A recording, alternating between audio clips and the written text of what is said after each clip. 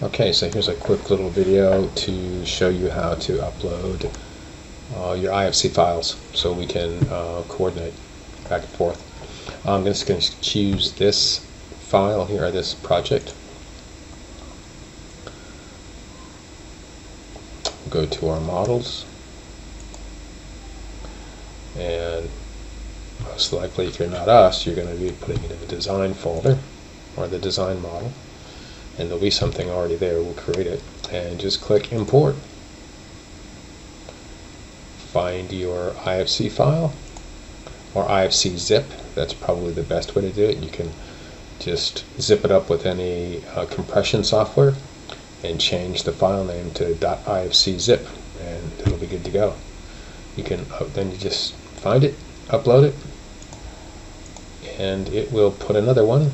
It'll ask you if you'd like to name it whatever you want to name it, and it'll call it number 5 in this case, and that's all there is to it.